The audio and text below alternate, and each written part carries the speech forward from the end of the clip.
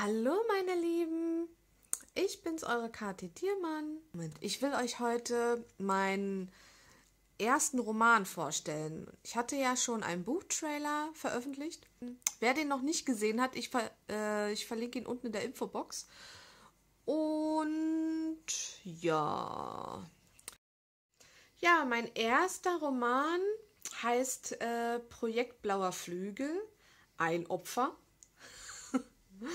Ähm, ja, was es mit diesem Opfer auf sich hat, das werdet ihr dann in dem Buch erfahren. Es ist eine vierteilige äh, Dark Fantasy Reihe und ähm, ja, kommt im November diesen Jahres raus. So, ähm, ich lese euch jetzt mal den Klappentext vor.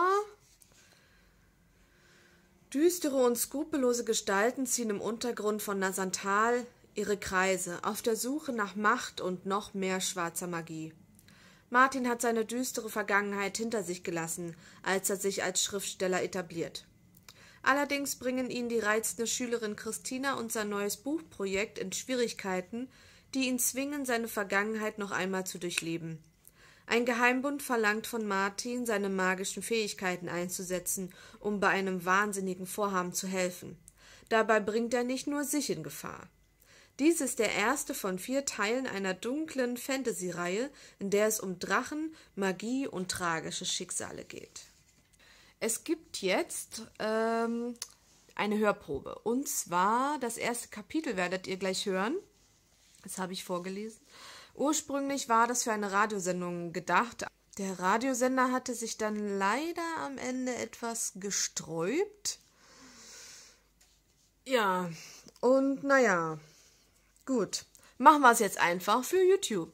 Naja, ähm, ich habe es ein bisschen, also es ist eine Audiodatei, deswegen habe ich das ein kleines bisschen mit äh, Musik hinterlegt, ein kleines bisschen zumindest, und ähm, mit Bildern. Also ihr könnt euer Handy oder Tablet oder wenn ihr am Computer sitzt, ähm, ihr müsst nicht davor sitzen. Ihr äh, könnt euch das einfach anhören, legt euch irgendwo chillig hin oder was auch immer. Ähm, ja, mein Hund will gerade spielen und ich will jetzt aber nicht spielen.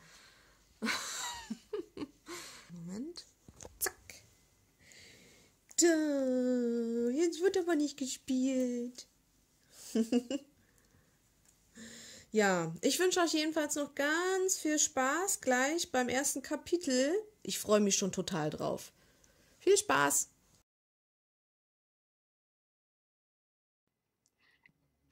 Im kleinen Badezimmer leuchtete das grelle Licht von der Decke. Der geflieste Raum hatte keinen Staubwedel mehr gesehen, seit Martin hier lebte.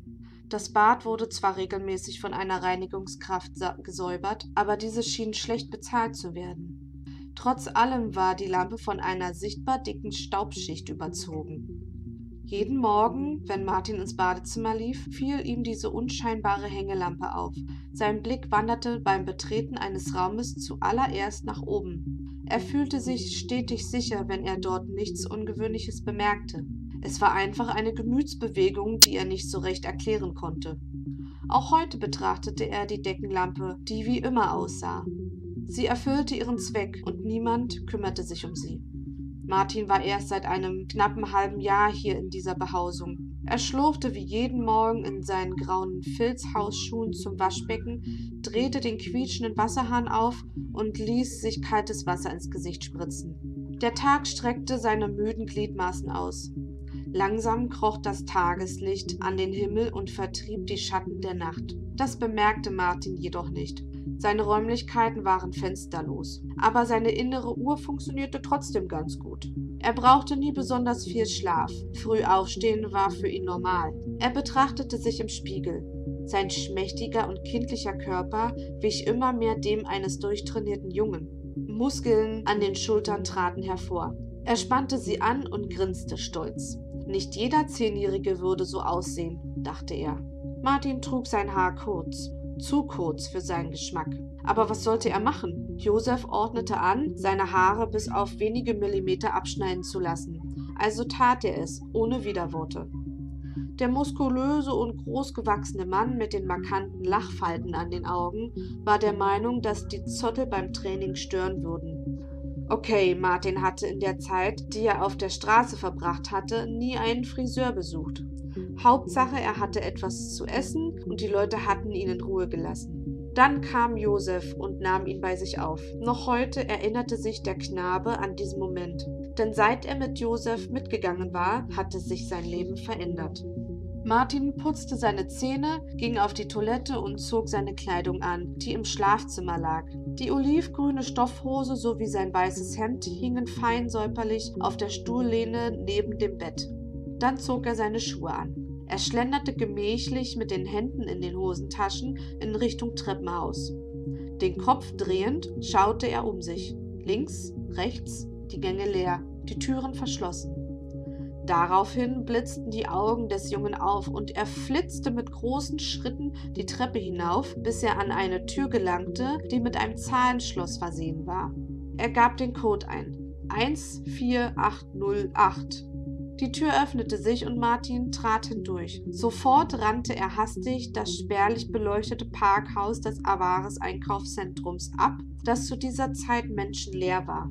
Eine andere Tür in der obersten Etage lag vor ihm. Dort gab er einen weiteren Zahlencode ein, wie zuvor an der anderen Tür. Als er die Tür öffnete, betrat er eine Kammer, die von oben bis unten gefliest war. Es flackerte eine Kerze in der Mitte des Raumes, Wachs klebte am Boden und gab der schmalen Kerze ihren Halt. Martin ließ die Tür hinter sich zufallen und begab sich zur Lichtquelle. Er ging in die Hocke, um die Flamme zu beobachten bedacht darauf, sich langsam zu bewegen, damit er sie nicht erschreckte. Flammengeister wie dieser hier waren äußerst schreckhafte und noch dazu extrem bockige Zeitgenossen. Deswegen musste Martin bedachtsam vorgehen.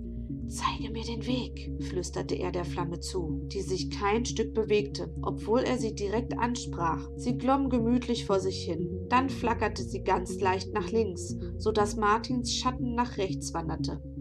Hab Dank, Martin wandte sich der rechten Seite der Kammer zu, wo sich zuvor sein Schatten gebildet hatte.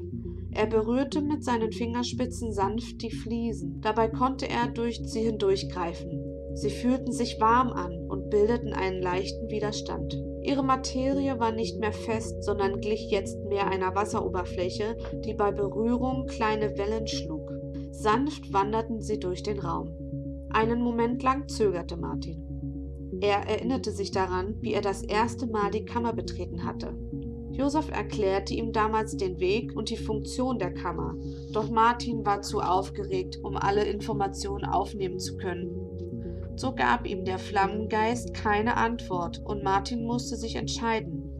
Jede Wand war wie die Wasseroberfläche, das Ziel war immer ein anderes. Bei seinem ersten Besuch ging Martin durch das falsche Portal und landete in einer weiteren Kammer mit einer Kerze. Er verstand nicht genau, wie er auf den Flammengeist reagieren sollte, und so verweigerte der Flammengeist ein zweites Mal die Kooperation. Martin wanderte abermals durch das falsche Portal und befand sich in einer Kammer, die den anderen beiden glich. Oder war es doch immer dieselbe? Es verwirrte ihn. Für eine gefühlte Ewigkeit setzte er sich vor die Kerze. Er würde es jetzt einfach mit Ruhe und Ausdauer versuchen. Der Flammengeist antwortete ihm, und Martin konnte endlich durch das richtige Portal gehen. Diesen Fehler wollte er nicht mehr machen. Er musste schmunzeln, als er sich daran erinnerte. Das war vor ungefähr acht Monaten gewesen, und seitdem kam er jeden Tag hierher. Er setzte einen Fuß vor den anderen und trat durch das Portal. Ein Augenblinzeln verging, dann stand er in einem riesigen, mit dunklem Holz verkleideten Saal. Der Saal war gigantisch groß, sowohl in der Höhe als auch in der Breite. Es hätte das Einkaufszentrum in sich aufnehmen können. Von der Decke hingen stattliche und schwere Lampen an dicken Seilen und Drähten herunter.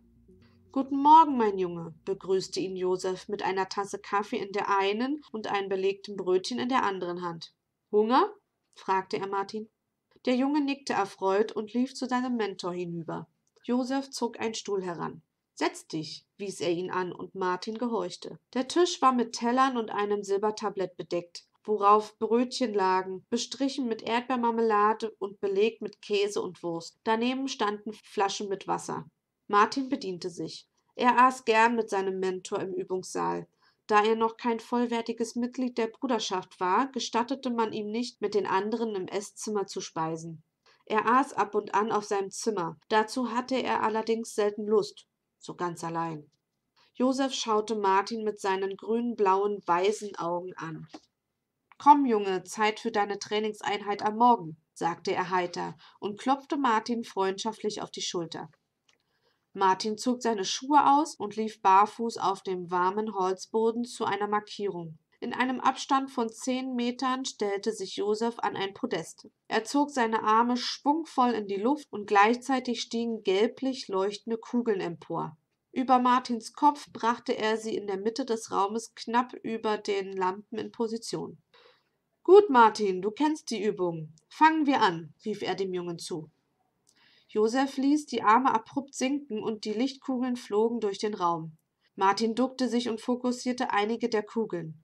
Mit einem schnellen Ruck steuerte eine der Kugeln auf ihn zu, woraufhin Martin mit einem geübten Hechtsprung zur Seite auswich. Anschließend zischte die nächste Kugel auf ihn zu und er wich auch dieser aus. Ein weiteres Leuchtgeschoss stürmte auf ihn zu und noch eine, dann zwei gleichzeitig, denen er gerade so ausweichen konnte. Josef beobachtete alles sehr genau. Er hielt einen Zauberstab in die Luft. Mit einem Mal erloschen die Lampen und der riesige Saal war durch die Lichtkugeln in ein mysteriöses Licht getaucht. Einige Kugeln umkreisten Martin, andere flogen durch den Saal, zogen Schleifen, kamen näher und entfernten sich wieder. Andere schwebten direkt auf ihn zu. Dann krachte es. Martin erschrak. Eine der Lichtkugeln war direkt neben ihm zerplatzt. Er spürte die krisselige Vibration noch kurze Zeit später auf seiner Haut. In einem unbedachten Augenblick schnellte eine Kugel heran, die Martin an der Schulter streifte. Schmerz zog wie ein elektrischer Schlag durch sein Schulterblatt. Er hatte den Überblick verloren, nachdem er getroffen wurde und den Schmerz zu unterdrücken versuchte. Vier der Lichtkugeln vereinigten sich zu einer größeren Kugel, die nun viel stärker leuchtete. Grelles Licht blendete ihn. Seine Augen formten sich zu Schlitzen und brannten wie Feuer. Mit dem rechten Arm schirmte er sein Gesicht ab, damit er halbwegs etwas sehen konnte. Gerade noch rechtzeitig wich er aus, und der große Lichtball schoss an ihm vorbei. Du musst schneller sein, Martin, rief Josef ihm zu. Und wie macht sich dein Lehrling? Ist Magie seine Stärke? Eine schlanke Frau Anfang zwanzig in einem schlichten grünen Kleid kam in den Saal gelaufen. Selbstgefällig trat sie an Josef heran. Er verdrehte die Augen und wandte sein Gesicht von ihr ab. Gut, dass du hier bist, Helga. Helga runzelte die Stirn und hob skeptisch eine Augenbraue. Josef schwang den Zauberstab und die Lampen gingen wieder an. Die Lichtkugeln, mit denen Martin gerade trainierte, lösten sich auf. Martin, mein Junge, komm bitte zu mir. Martin schloss zu seinem Mentor auf. Weißt du, wer diese Frau neben mir ist? wollte Josef von seinem jungen Schüler wissen. Martin hob den Kopf. Immer wenn er sie anschaute, sah er auf die nicht gut operierte Lippenkiefer-Gaumenspalte. Es blieb nicht nur eine Narbe zurück, sondern der linke Teil ihrer Oberlippe war verzogen. Denn auch der Rest ihres Gesichtes war nicht gerade das, was man als hübsch bezeichnen konnte. Ihre braungrünen Augen stielten ihn an, als würde sie gaffen, so groß waren sie. Das braune Haar hing schlaff in dünnen, strohigen Strähnen an ihrem schmalen Kopf hinunter. Ein spitzes Kinn unterstrich ihr hexenfratziges Gesicht. Wenn Martin ihr wahres Alter nicht kennen würde, hätte er sie älter geschätzt. Martin wusste, wer Helga war und welchen Rang sie hatte. Er war deshalb nicht befugt, etwas zu äußern. Sie schielte von oben herab und durchbohrte ihn mit ihrem Blick. Jetzt fühlte sich Martin sich erst recht wie ein kleiner zehnjähriger Junge. Unsicher schaute er wieder zu Josef und nickte stumm. Josef ging daraufhin in die Hocke. Merke dir eins, mein Junge. Frauen wie Helga sind Abschaum. Sie sind zu weich, um je Macht zu erlangen. Die meisten Frauen haben nicht das Zeug, an der Spitze zu stehen. Und schon gar nicht, wenn sie so hässlich sind wie Helga. Helga ballte die Fäuste und presste ihre spröden Lippen zusammen, während ihre Augen sich verengten und ihr Blick starr auf Josef gerichtet war. Sie und Josef mochten einander nicht.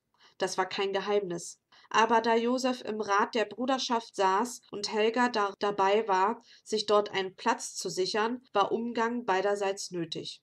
Wortlos verließ sie den Saal. Zwei Tage später traf Martin Josef im Flur des Hauptgebäudes. Wo ist sie? fragte Josef aufgebracht. Der Junge zeigte mit dem Finger auf das Büro von Josef. Ich habe gesehen, wie sie reingelaufen ist. Aber ich habe mein Büro abgeschlossen. Danke, dass du mich sofort gerufen hast. Josef wartete gar nicht erst Martins Antwort ab, sondern lief direkt in sein Büro. Tatkräftig riss er die Tür auf. Vor Schreck ließ Helga die Akte fallen, die sie gerade aus einem Schubfach entwendet hatte. Mit rotem Kopf stampfte er auf seine Kollegin zu. Er schielte auf die Schriftstücke und zeigte flüchtig mit dem Finger darauf, um Helga wortlos anzudeuten, was er wollte. Was willst du mit Martins Akte? Ich. Du kannst froh sein, dass Martin hinter der Tür steht und ich mich deswegen beherrschen muss, zischte Josef zwischen seinem gespannten Kiefer hervor. Sie sammelte die zusammengehefteten Papiere auf und wollte an ihm vorbeigehen. Da ergriff er ihren Oberarm. Die Akte, sagte er fordernd. Und jetzt raus! Helga übergab sie ihm wortlos. Ihre Hasenscharte zuckte nervös und die Schultern waren wie die Nackenhaare eines Tieres aufgestellt. Daraufhin ließ er sie los und Helga verschwand im Korridor. Dabei blickte sie starr geradeaus. Sie spürte Martins Blicke, als sie sich entfernte, doch wagte sie nicht, sich umzudrehen. Josef kam zu Martin und lehnte sich mit der Akte in der Hand an den Türrahmen. Was wollte sie mit der Akte? fragte Martin. Das ist eine sehr gute Frage. Leider weiß ich darauf keine Antwort, aber ich vermute, Ihr Vorhaben wird bald für uns erkennbar werden. Ihre Augen zeugen von aufkommendem Wahnsinn, erklärte Josef. Das müssen wir dem Rat melden. Ich gebe dir recht. Das muss ich mit den anderen Ratsmitgliedern besprechen. Das geht zu weit. Sie ist in mein Büro eingebrochen und wollte eine Akte stehlen. Deine Akte, antwortete er. Ich verstehe. Am nächsten Tag stand Martin wieder sehr früh auf. Wie jeden Morgen lief er noch etwas verschlafen ins Badezimmer und schaute beim Betreten des Raums an die Decke. Martin erschrak mit einem Mal. Ein seltsamer Schatten war in einer Ecke zu sehen. Dieser bewegte sich nicht und hatte die Form eines Ungetüms mit vier Fangarmen. Martin wusste nicht so recht, was er tun sollte. Etwas ängstlich stand er im Türrahmen und starrte den Schatten an. Woher kam er? Die Lampe leuchtete, aber nirgends war etwas zu sehen, das den Schatten verursachen konnte. Er suchte mit den Augen den Raum ab, und während er das tat, nutzte der Schatten die Gelegenheit, sich fauchend auf Martin zu stürzen. Klauen mit blitzenden Krallen materialisierten sich, zielten auf den Jungen. Martin stolperte zurück in sein Schlafzimmer und schrie, während er versuchte, dem Biest auszuweichen. Er mühte sich ab, es zu schlagen und zu treten, doch immer wenn er glaubte, ihn zu treffen, durchzog sein Bein oder seine Faust den grauen Schatten. Hilfe! rief Martin. Das Ungetüm baute sich vor Martin auf, als dieser mit dem Rücken am Boden lag und versuchte in einer Art Krebsgang vor dem Schatten zu flüchten. Hilfe! brüllte er erneut. Der bestialische Schatten kreischte Martin mit ohrenbetäubender Lautstärke an. Das Monster ließ seine scharfen Krallen auf Martins Beine niedersausen. Die Stofffetzen seines Beinkleides verklebten mit dem dunkelroten Blut, die aus seinen Wunden floss. Hilfe! rief er noch einmal, diesmal etwas schriller, da der Schmerz ihn fast wahnsinnig machte. Jetzt bist du tot, fauchte es aus dem Maul der Bestie. Was zum? äußerte Martin verwirrt und leicht verärgert, da er diese Stimme einer ihm bekannten Person zuordnen konnte. Die Türklinke klapperte. Martin, was ist los? Mach die Tür auf, rief Josef von draußen. Ich kann nicht. Josef, hilf mir, schrie Martin, als er seinen Retter vor der Tür hörte. Die Bestie donnerte auf Martin zu, doch er konnte ausweichen und prallte mit dem Rücken gegen das Bett. Martin war wie erstarrt. All die Trainingseinheiten, die er seit Monaten mit Josef Hart erarbeitet hatte, waren vergessen. Er hockte einfach nur da und hoffte, Josef würde die verschlossene Tür aufbekommen, bevor der bestialische Schatten ihn in Stücke riss. In diesem Moment brach die Tür aus den Angeln und prallte gegen einen Sessel. Josef ließ seine Hand zu einer Kralle geformt in Richtung Schatten sausen, zugleich schossen blitzschnell giftgrüne Kugeln aus ihr heraus, geradewegs auf das Biest zu. Es traf sein Ziel und das Ungetüm löste sich kreischend in grauen Rauch auf. Martin! rief Josef, als er sich dem Jungen zuwandte. Deine Beine sind vollkommen zerkratzt. Wir müssen die Blutung stoppen. Mit seinen starken Armen half er Martin auf und trug ihn auf die Krankenstation. Nachdem Martins Wunden versorgt wurden, kam Josef zu ihm ins Krankenzimmer, setzte sich neben ihn und schaute den Jungen mit ernstem Blick an. Erzähle mir, was passiert ist, mein Junge. Martin berichtete, wie der Schatten im Badezimmer auf ihn gelauert und angegriffen hatte. Ich schäme mich, äußerte Martin und senkte den Kopf. Warum? fragte sein Mentor. All die Trainingseinheiten, die ich von dir gelernt habe, all die Magie konnte ich nicht anwenden. Ich war wie erstarrt. Wie ein kleines Mädchen habe ich am Boden gehockt und gewimmert. Als ich dich vor der Tür gehört habe, wollte ich nur noch gerettet werden, gab Martin kaum hörbar zu. Josef strich ihm väterlich über den Kopf. Das war dein erster Kontakt mit schwarzer Magie und das völlig unvorbereitet. Anders hätte ich wohl auch nicht reagiert, wenn ich du gewesen wäre. Martin hob den Kopf. Josef lächelte, doch die Mundwinkel verzogen sich allzu schnell zu einem ernsten Gesichtsausdruck. Jemand hat versucht, dich zu töten, und ich brauche nur eins und eins zusammenzählen. Das war. Helga, beendete Martin den Satz. Ich habe ihre Stimme gehört. Sie sprach durch den Schatten. Was hat sie gesagt? wollte Josef wissen. Sie sagte, dass ich jetzt sterben werde, antwortete sein Schützling. Josef atmete schwer durch die Nase aus und presste dabei die Lippen zusammen. Wir müssen Acht geben, mein Junge. Diese Frau ist nicht bei Sinnen und will dich aus dem Verkehr ziehen. Sie ist sehr mächtig, stellte Martin fest. Sie benutzt unheilvolle Magie. Besonders Schattenmagie ist heimtückisch. Sie übt sich darin, ja, aber hervorragend ist sie darin nicht. So ein Schattenwesen ist eine Anfängerübung. Trotzdem sollten wir vorsichtig sein. Irgendwas plant sie. Dafür ist ihr sogar Machtmissbrauch recht. Brüder des grünen Falls dürfen keine Magie gegeneinander anwenden, außer es handelt sich um ein Training. Josef zog seine Finger durch die braunen Haare, wobei die langen Strähnen an der Stirn wieder zurück ins Gesicht fielen. Jetzt ruh dich erstmal aus, wir trainieren weiter, wenn du genesen bist, sagte er zu seinem Schützling und wandte sich zum Gehen. Josef, äußerte Martin. Danke. Sein Mentor nickte ihm väterlich zu.